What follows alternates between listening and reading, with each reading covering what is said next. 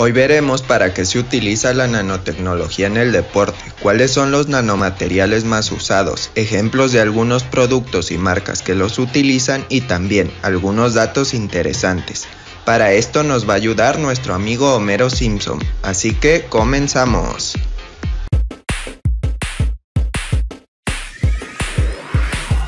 Lo más utilizado para artículos deportivos son los materiales nanocompuestos, que presentan ventajas como mayor fuerza y resistencia, son más durables y tienen un peso reducido.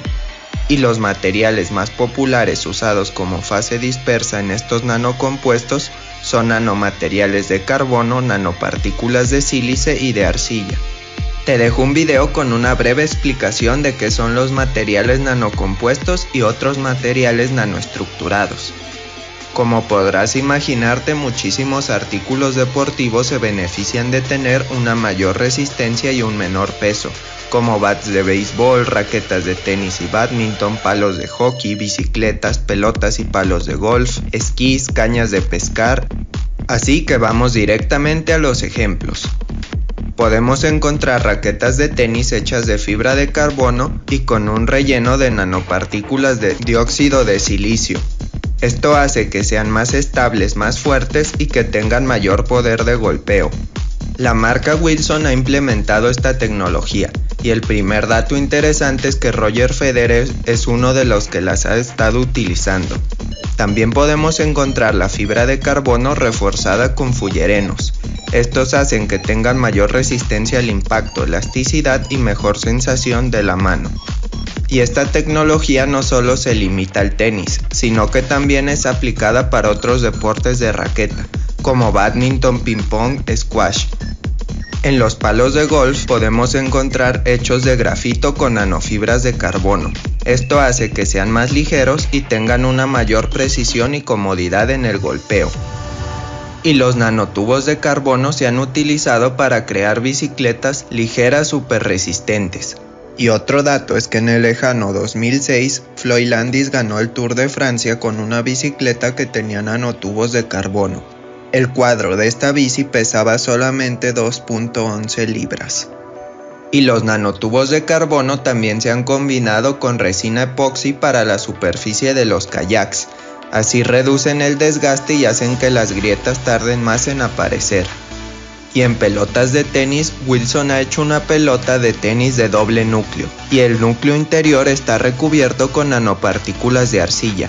Estas hacen que sea mucho más difícil que el aire escape y así la pelota retiene su presión y rebota por mucho más tiempo. Y en cuanto a equipo de protección, los cascos para fútbol americano han estado probando una espuma con nanopartículas, que actúa como piezo eléctrico, o sea que al aplicarle una presión este material produce voltaje.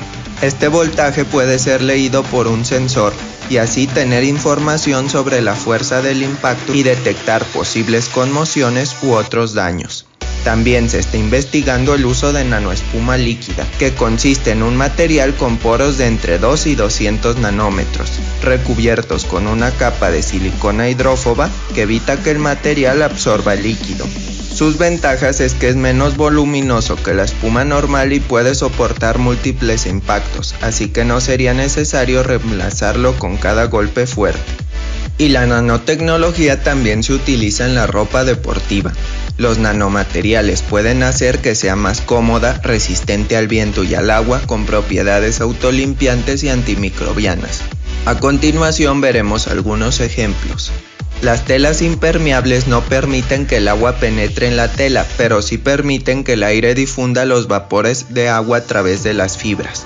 Un tejido impermeable se puede lograr con poliéster y un recubrimiento de nanosilicato, y también con membranas nanofibrosas que incorporan dióxido de titanio y óxido de zinc. Esto es usado en trajes de baño y zapatos deportivos impermeables. El efecto hidrofóbico también significa que la tela es más fácil de limpiar, y cuando el agua no se absorbe en la tela, la tela es más liviana y los nadadores tendrán mayor agilidad en el agua. Y aquí va otro dato curioso. En los Juegos Olímpicos de 2008 se rompieron muchos récords mundiales. El 90% de los ganadores de la medalla de oro vestían un traje espido recubierto con nanopartículas repelentes al agua. por lo que se comenzó a hablar si esto era trampa. En consecuencia, en 2010, la Federación Internacional de Natación terminó prohibiendo trajes con ciertas características, por dar a los competidores una ventaja injusta. Las bacterias presentes en nuestra ropa pueden infectarnos, dañar el material o causar olores desagradables. Para combatirlas se usan nanopartículas de óxido de zinc, dióxido de silicio y de plata como en los calcetines Sol Fresh, que logran eliminar el mal olor de los pies sin que las nanopartículas afecten la transpirabilidad ni el tacto en el tejido. Además, las nanopartículas de óxidos metálicos ayudan a proteger contra la radiación ultravioleta. De hecho, se utilizan en protectores solares. Checa este video.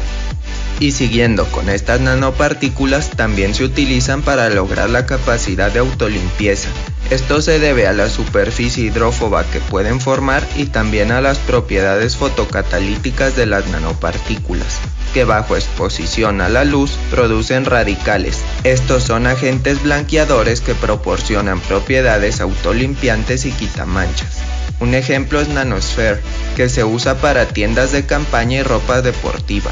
En este caso, las nanopartículas forman una estructura rugosa en la superficie, al igual que una hoja de loto. Así el agua y la suciedad no pueden adherirse a esta superficie montañosa, dando un efecto de autolimpieza como el que muestran ciertas plantas e insectos. Y también tenemos Nanofront, una nanofibra de poliéster ultra fina, que se utiliza en plantillas para las zapatillas de correr, en cordones antideslizantes y en guantes. Es similar a las patas del gecko, imitando su asombroso poder para agarrar, Debido a sus excelentes propiedades de fricción, tiene una excelente resistencia al deslizamiento. Así que eso es todo por el día de hoy, espero te haya gustado y te haya servido. Ya sabes que en los comentarios puedes dejarme si te interesa algún tema en específico. Hasta la próxima.